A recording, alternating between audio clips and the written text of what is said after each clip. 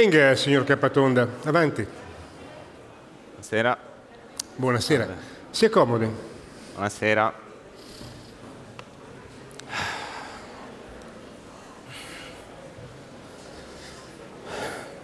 Dunque, perché ha chiesto questo colloquio?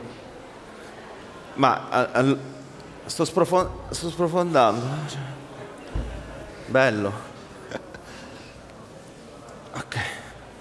Beh, metto così. Metto così. La vedo comoda. Il, il bello della seduta psicanalitica. Allora, no, prima di tutto per fare una, una seduta psicanalitica gratis. Questo è uno dei motivi, il primo, però il più... Il secondo più importante è che io ho la sensazione che la mia, la mia scelta di, fare, di lavorare nella creatività, di fare il comico, sia il, il- frutto di, di un problema men- di un problema mentale o possa essere il frutto di un problema mentale, di un, di un disturbo ps- psicologico che, che ho da sempre. Come mai le è venuto questo pensiero? Cioè è stata qualcosa di suo o gliel'hanno fatta notare in casa, in famiglia ad esempio? No, lo, pens- lo penso perché ho scritto il mio libro e nel mio libro ho ripercorso un po' gli eventi della mia vita e ho notato che nella prima fase della mia vita io ho avuto un rapporto altalenante con la realtà, nel senso che ehm, cercavo la, la realtà che vivevo familiare era, molt- era piuttosto dolorosa perché i miei genitori litigavano molto e- o anche noiosa perché la mia città era molto noiosa. Eh, ho provato a, a- per dire quando provavo a fare sport ero, eh, risultavo fallimentare diciamo nel mondo reale poi ho visto la prima volta Ritorno al futuro e ho, e ho detto io voglio vivere nel mondo del, del cinema voglio fare questo, questo lavoro quindi penso che il, il fatto di lavorare in- nel mondo della creatività sia un modo per sfuggire al, al mondo reale e quindi, sia, che- che- quindi penso di avere un, prob- un problema con, eh, con la socialità, con le, Mi, le mi spieghi, mi- mi spieghi meglio, è, è qualcosa che- di cui si è accorto recentemente? O è un dubbio questo di avere un problema mentale che si trascina da tempo? No, io sento comunque di avere un problema più che eh, con, con il, il rapporto col, col mondo, col mondo reale, cioè io voglio vivere nel- nel- in una bolla di, di- di fantasia, cioè di evasione. Ecco, io da quando ho scoperto che esiste il, il virtuale, diciamo, sto cercando di vivere in quel mondo il più tempo possibile perché la realtà mi sembra un po' dolorosa in un certo senso. Ma lei ha sempre avuto la passione per la comicità, per l'umorismo, per cercare di tenere a bada un po' la realtà con questa forma oppure nella sua infanzia c'erano altri interessi? Ma ho provato a fare cose tipo a, a- appunto come dicevo a fare sport, avevo interessi, però appena ricevevo un, un- un appena fallivo in qualche cosa eh, mi rifugiavo nella- nell'evasione, nel- nel- nel- l'umorismo sì mi è sempre piaciuto, vedevo film comici ma anche film horror.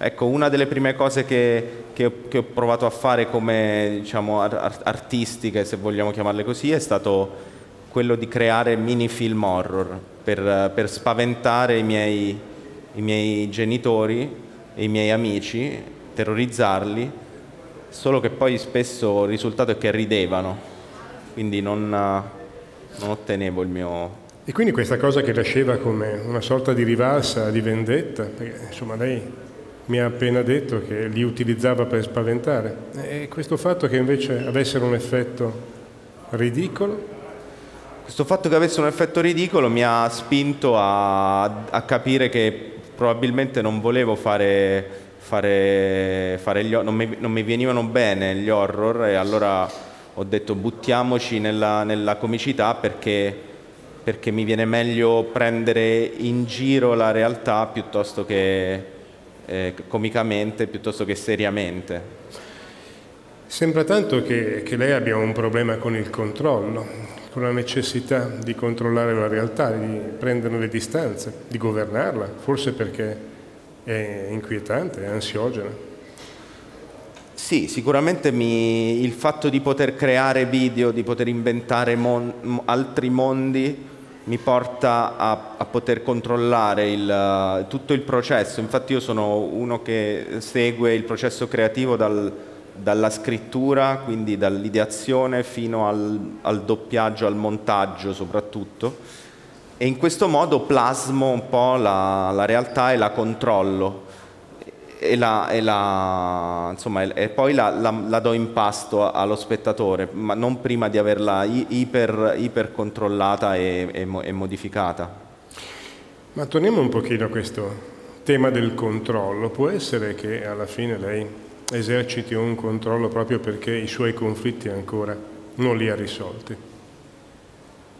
Eh, sì, io non so quali sono i miei conflitti, volevo anche capirlo con lei, nel senso che eh, so di avere dei problemi, ma esattamente eh, non, non, so quali sono. Quindi, quindi, per ora ho creato questo lavoro di comico creativo per, uh, come se fosse una sorta di cura amatoriale inventata da me che mi permette di sfogarmi in un certo modo e curarmi dal, dai miei problemi reali e, e fortunatamente fu, sta funzionando, però non so, non so, fino a che punto poi, poi funzionerà. Ma che, che rapporto lei, lei ha con la gente, con le persone che la apprezzano, che la seguono, che la stimano?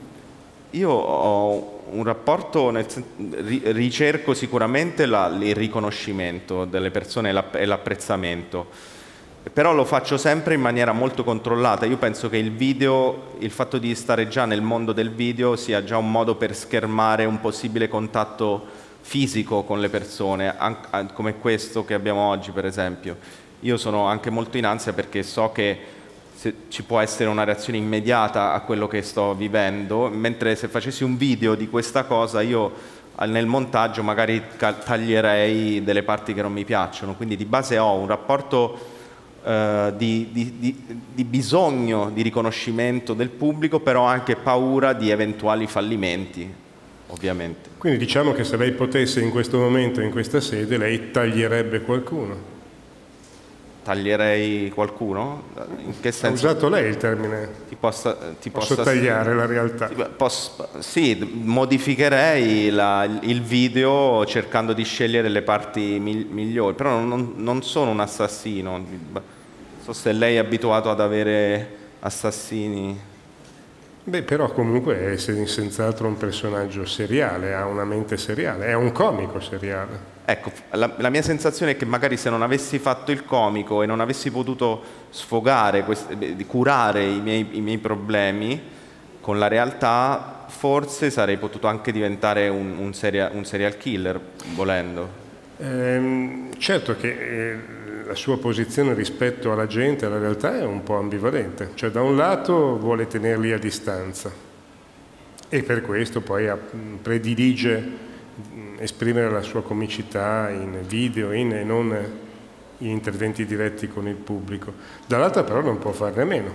Mi viene un po' da pensare che lei sia una persona che se incontra per la strada un suo fan che, che le chiede un selfie, un bacio, un abbraccio, eh, qualcosa del genere sia infastidito e poi rischi di correre in casa a vedere se c'è un like in più all'ultimo video prodotto. Beh, quando incontro i, i, fan per strada la, le, non è che sono infastidito, però sicuramente c'è un dislivello di, di empatia tra, la, tra, quella mia e quella del fan, perché c'è da parte del fan un, un, una grande empatia nei miei confronti perché mi conosce, io invece non so chi sia questa persona e quindi eh, sono diciamo, abbastanza imbarazzato anche, più che infastidito. Poi dipende se mi, se mi dicono ma c'è! Cioè, se mi, mi, abbracciano, mi scuotono, mi, mi, mi leccano, allora potrebbe, cioè, di, mi infastidisco, però di base è un rapporto sì, sereno, però è vero, è vero, che poi sono molto sensibile al riscontro sul, sul web,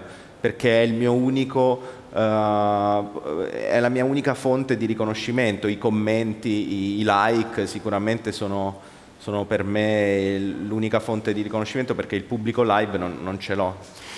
Ma che cosa secondo lei le ha dato questa scelta e che cosa le toglie? La scelta di non avere un contatto diretto in presenza. Mi dà che mi permette di continuare a vivere e a, a fare il mio lavoro e eh, anche con buoni risultati. Mi toglie sicuramente un rapporto con, la, con, con le persone più, più, umano, forse un, un contatto più fisico, più, più umano con, con, la gente. Penso che sia anche una cosa che va, vale anche per, per tutti, perché siamo tutti un po' dentro questo mondo virtuale, quindi sempre alle prese con un contatto sempre meno, meno fisico, meno umano.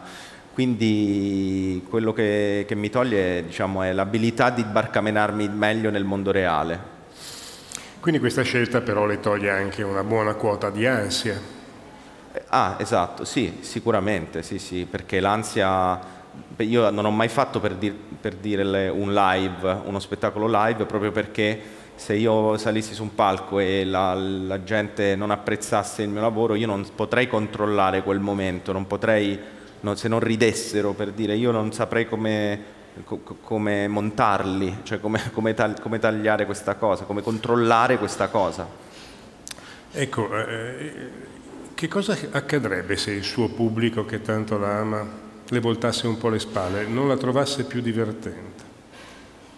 E c'è un pensiero che le corre ogni tanto? è un pensiero che ricorre e per questo è lo, è lo stimolo a impegnarmi costantemente nel cercare invece un, di fare se, cose sempre più originali, più creative, più, più interessanti, anche per stare dietro all'evoluzione che, che, il mondo del web e dei social e del, di internet in generale ha attualmente. Quindi forse quello che mi muove è anche proprio l'ansia da perdita di, di, pubblico, in un certo senso. Non solo, però anche sicuramente. Quindi, perché sarei perso se, se, non, se, non, avessi più un pubblico, farei le cose per me stesso e, e poi boh. Ma chi era il suo pubblico da bambino?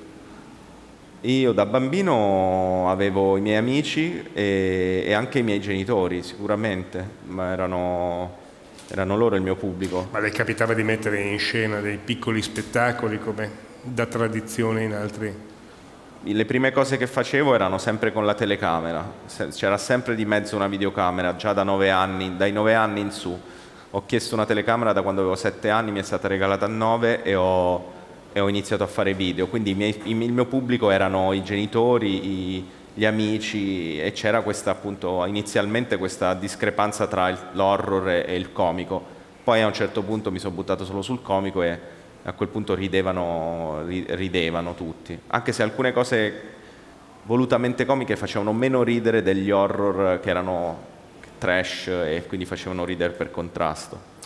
Ma la sua comicità pensa e ritiene che sia spontanea o costruita? Uh, Sicuramente c'è una parte di costruzione molto, molto meticolosa in, uh, nel, nelle fasi del processo, eh, diciamo realizzativo, ma uh, c'è anche un aspetto molto spontaneo e molto incontrollato nella gestione dei, dei, delle idee, per dire l'ispirazione lì viene, mi viene molto spontanea, l'ispirazione su tante idee, quindi è un, è, è un mix di eh, spontaneità e ricerca della perfezione o della, insomma, della costruzione della, della, gag. Ma provi un pochino a, a, spiegarmi in poche parole come nascono le sue, le sue figure, eh, la sua comicità, le sue battute, i personaggi. Io penso che nasce tutto dalla voglia di de- destrutturare, di rompere, di... Mh, di, com- di, comunicare un disagio, in un certo senso, sulla, un mio disagio. Quindi faccio una gag per, per, per, per mettere alla berlina una, una, una, realtà che magari mi prendo, prendo, in giro, che magari mi, mi, mi, non, non, mi piace, o, o, anche per comunicare un messaggio che, che mi sta a cuore in quel momento. I, personaggi, ad esempio, da, nascono sempre da eh, cose che ho visto, per parenti che ho, che ho, avuto, che ho conosciuto, quindi però c'è sempre una, un, qualcosa che io prendo come base e poi vado a destrutturare, a distruggere. A me piace molto lavorare sulla destrutturazione dei linguaggi pre, precostituiti ed è lì che poi vado a, fare, a farne la parodia, a farne la, insomma, la, la, la presa in giro. È la seconda volta che, che oggi mi, mi, mi, cita una parola un po' Eh, violenta, cioè adesso parla di distruggere, prima mi ha parlato di tagliare. Pensa di essere una persona aggressiva? Se avessi? Se pensa di essere una persona aggressiva.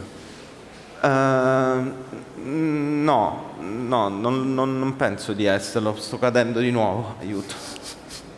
E non, no, non penso, penso che ho dei momenti in cui magari mi arrabbio perché le cose non vanno come dovrebbero, però di base sono una persona che ricerca la calma, la tranquillità e la voglia di stare, di stare sereno, in un certo senso. Però non ama la realtà. Però? Non ama la realtà. No, no, l'aggressività da un lato mi spaventa perché comunque fa parte anche di un mi, mi, fa venire in mente la lotta, per dire la lotta che è la lotta fisica, che è una cosa che a me non, non piace per nulla perché mi porta proprio nel mondo della, della, del, del, del, reale più, più, più, più, totale. Quindi io cerco sempre, l'aggressività la vedo sempre come un qualcosa da, da rifugire. Sì, ce l'ha detto anche prima, cioè in fondo questa modalità di, fare, di spostare tutto sul virtuale è qualcosa che le permette di tenere un po' a bada i conflitti. Cioè prima anche mi ha citato il problema dei genitori che litigavano, ad esempio con i genitori che litigavano lei che tipo di posizione aveva, cosa pensava quando li sentiva o li vedeva litigare? Eh, beh, io soffrivo moltissimo perché sentivo di sentivo di essere il, mo- il motivo del loro, del loro, litigio, cioè in qualche modo pensavo che il, il fatto che loro litigassero dipendeva da me. Da, e, e, poi mia madre me lo, cioè non è che me lo ha confermato, però comunque i miei genitori si sono messi insieme, si sono addirittura sposati perché io sono, sono nato, quindi eh, in, in, quel momento eh, sono, io sono la causa del loro o della loro fantastica storia d'odio. Io nel libro descrivo la storia dei miei genitori fantastica perché loro si odiano costantemente da quando sono nato e, e, stanno insieme e continuano a non separarsi pur odiandosi costantemente e, in questo, e io mi sento un po' il, um, il, la causa di tutto ciò. Eh, la causa beh, è un bel fardello questo, pensare di essere comunque responsabile di un conflitto. Cioè lei tanto riesce a fuggire il conflitto nella sua professione perché proprio non lo sopporta, non sopporta il litigio, non sopporta... Tanto è cresciuto con questa posizione assolutamente scomoda. Ma se non avesse fatto il comico, mai pensato a cosa avrebbe potuto fare? Se non avessi fatto il comico, eh, beh, è una bella domanda perché probabilmente appunto mh, avrei dovuto sfogare comunque questo conflitto in qualche, altro, in qualche, altro, modo. Uno dei lavori che mi piace molto è il tassista perché uh, sono molto bravo a orientarmi per le strade, quindi probabilmente avrei potuto fare il tassista e poi basta, credo solo il, il tassista. Il tassista è rigorosamente con un pannello di plexiglass tra i sedili davanti e quelli dietro, però. Sì, sì, esatto. Non, non, non, non tanto per le persone, per, per, per, incontrare persone, ma quanto per muovermi e, e, conoscere bene tutte le strade della città, che sono, sono, mi, mi reputo molto bravo nell'orientamento. Quindi sarebbe stato un tassista che non aveva clienti? Clienti da tenere bene a distanza. Senta un po', ma visto che lei saprà oramai tutte le nostre funzioni cerebrali vengono chiamate, descritte in termini neuroscientifici, eh, che cosa mi dice se io eh, così, le cito dei lavori recenti in cui si identificano i centri della comicità con quello che si chiama il circuito della ricompensa dove c'è la presenza di un gran numero di eh, recettori per gli oppiacei, insomma, in fin dei conti ridere la scarica che deriva da una risata è paragonabile a, a una sostanza. Beh, questo, su questo sono d'accordo perché comunque mia, ogni volta che io ho l'ispirazione, ogni volta che faccio un video, ogni volta che creo una nuova idea, ricevo una ricompensa sotto forma di, appunto, di scarica di, di qualcosa che mi dà, mi dà sicuramente piacere ed è eh, il continuamente cercare nuove idee, nuove, nuove idee originali diventa poi una sorta di droga e dipendenza, quindi mi trovo perfettamente in linea con questa cosa. Adesso le farò alcune domande perché volevo riprendere un lavoro che ho visto pubblicato da una rivista prestigiosissima che è il British Journal di Psichiatria, in cui hanno preso 500 suoi colleghi eh, inglesi e comici, eh, gli, hanno gli, hanno, gli hanno proposto un questionario e dall'esame di questi 500 soggetti è venuto fuori che i comici condividono eh, alcuni tratti schizofrenici con i malati e alcuni disturbi di personalità. La prima caratteristica che è saltata fuori, ad esempio, è credere in situazioni paranormali.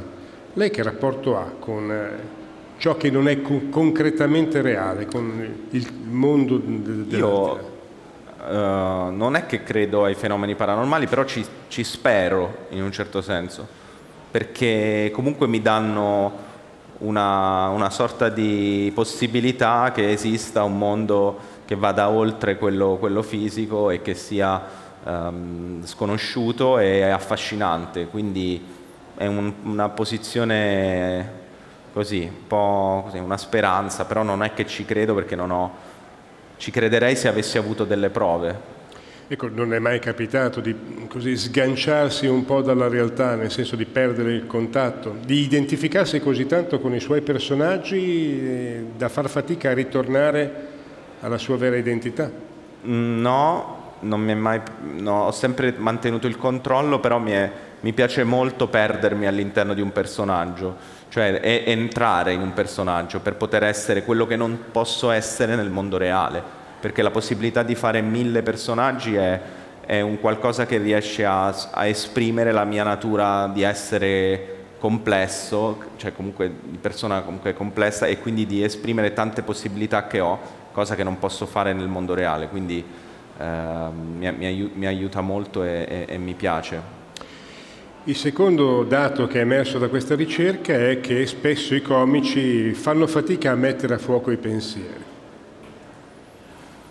Eh, beh, questo no, non, mi, no, non, non mi risulta, nel senso che io sono cioè li, li, li, metto a fuoco proprio perché nel mio lavoro devo pensare molto, quindi devo essere in grado di metterli a fuoco, altrimenti non saprei come, cosa... E come lei ha una scansione della giornata in, sulla creatività, capita quando capita o è un creativo seriale? Sto pensando a Stephen King, a Simenon che si alzavano al mattino e producevano Mm, no, la, la, disciplina in certi casi mi manca. Io eh, diciamo che sono uno che riesce a creare nei momenti in cui non voglio farlo, quindi mi viene l'ispirazione e, quando sto con gli amici, quando sto al bagno, quando mi faccio la doccia, oppure nei momenti di estrema pressione in cui sono talmente sotto pressione da parte di un committente che mi dicono devi consegnare quel, quell'idea domani e allora io mi, fa, mi spremo le meningi e, e, e, e, creo qualcosa. Faccio più fatica invece a, a, svegliarmi la mattina e dire adesso mi metto a inventare qualcosa, soprattutto ultimamente questo. Terzo punto è, si chiama anedonia, cioè i suoi colleghi sembrerebbero poco capaci di provare piacere e rifugirebbero anche un po' dall'intimità, in parte questo ce l'ha raccontato. Beh, io no, io allora nell'intimità no, provo, provo piacere, sono, mi, mi, mi, piace provare piacere, quindi non sono uno che sfugge al piacere. Eh, faccio fatica a trovare persone con cui farlo, nel senso con cui cioè, ci vuole tempo per trovare qualcuno con cui entrare in una sorta di intimità, proprio perché ho uno, probabilmente uno scudo verso appunto le, il mondo e quindi prima di entrare in confidenza e in intimità e provare piacere ci metto più tempo però di base non, non, non sono, cioè, mi, mi, mi, piace questa cosa, quindi non mi riconosco tanto. Devo dire che fino ad ora mi ha confutato questa illustre ricerca. L'ultimo punto, e che forse anche questo sarà da confutare, è una tendenza antisociale. Eh, antisociale? Antisociale, non asociale, nel senso che un po' asociale lo è, un po' ritirato dalla, dalla società, dal mondo, ogni tanto prende le distanze, anzi mondo le mette un po' tensione. L'antisociale è proprio quello che va contro, cioè quello che infrange la legge su piccole o grandi cose. No, sono molto invece rispettoso. De, di, uh, ne, ecco, nel mondo reale sono molto rispettoso delle regole, della legge e di quello che è stato stabilito che è la legge.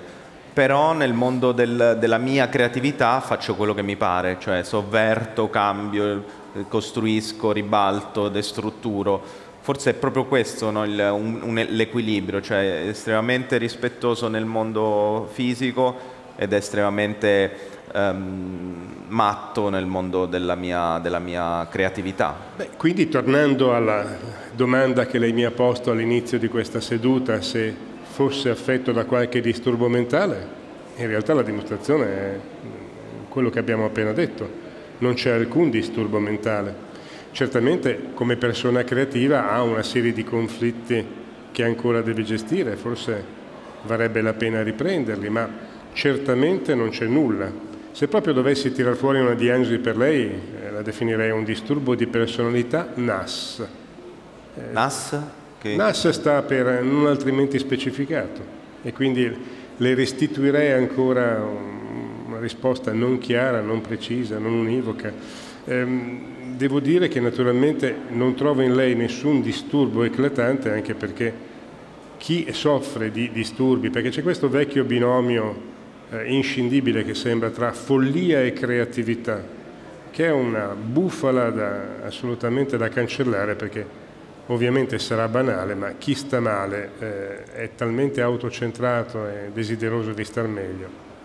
Per cui direi di fermarci qui, non, non ci sono alcuni, alcun problema. Quindi non sono, non ho, ho un disturbo di personalità che mi che però non è, cioè, cioè, mi permette di fare il lavoro che faccio. Diciamo che lei ha trovato il modo di, eh, lo direi, direi, in linguaggio tecnico, di sublimare, cioè di prendere tutte le difficoltà piccole e grandi comprensibili e girarle e utilizzarle per creare qualcosa di artistico, di creativo, di superiore. Okay. Eh, e questa è una delle modalità più... Quindi la, la, mia cura è il mio lavoro in un certo senso. La sua cura è sicuramente il lavoro, certamente forse qualche seduta non le farebbe male. Per cui... Quindi devo tornare?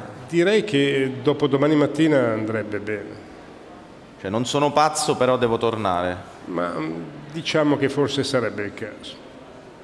Va bene, grazie. Grazie a lei. Va bene. Grazie. Grazie. Ah.